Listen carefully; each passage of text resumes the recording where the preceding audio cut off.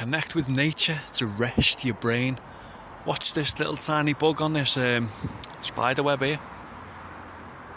See?